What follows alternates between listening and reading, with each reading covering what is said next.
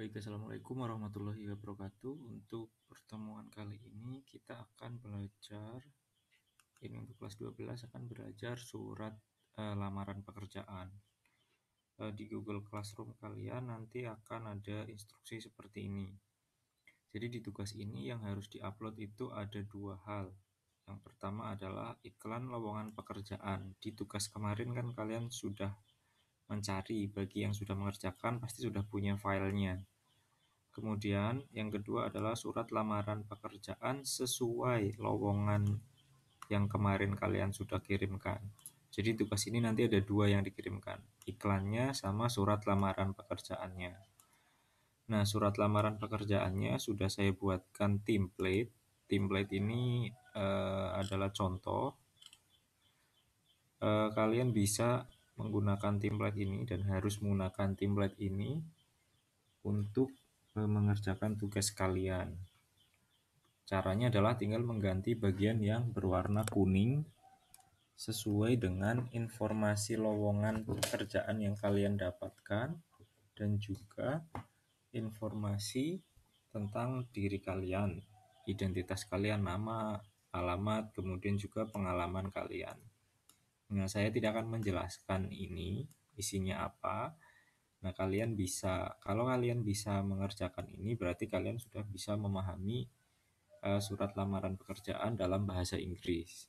Seperti kita tahu kemarin di teman-teman yang sudah mengumpulkan uh, lowongan pekerjaan itu dari berbagai macam uh, apa jenis pekerjaan itu kenapa diiklankan dalam bahasa Inggris kan pertanyaannya seperti itu nah ternyata uh, baik pekerjaan yang sifatnya uh, seperti apa ya kemarin ada yang jadi petugas hotel ada yang jadi front office bahkan ada yang penjaga toko pun uh, mulai ditulis dalam bahasa Inggris lowongan pekerjaannya. Nah, oleh karena itu sebaiknya kalau lowongan pekerjaannya ditulis dalam bahasa Inggris, kita juga mengirim lamaran atau surat lamaran pekerjaannya juga dalam bahasa Inggris.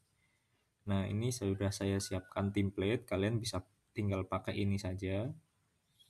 Eh, jangan menggunakan template yang lain biar saya juga lebih mudah uh, untuk menilainya besok. Nah, di sini kalian tinggal mengganti bagian yang kuning sesuai lowongan pekerjaan, data diri kalian, dan pengalaman kalian. Silahkan dibaca dan dipahami. Oke, saya tidak akan menjelaskan ini harus ditulis apa, ini harus diisi apa. Kalian nanti bisa membacanya sendiri dan mengganti sesuai uh, data diri kalian dan lowongan pekerjaan kalian. Oke, thank you. Nanti bisa diupload di sini. Di tugas kalian. Ini ada catatan sedikit di bawah.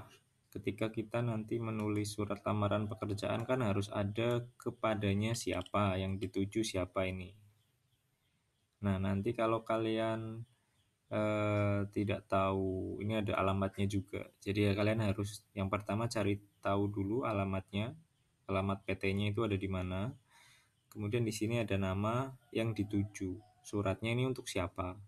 Terus posisinya ini director, misalnya direktur perusahaannya.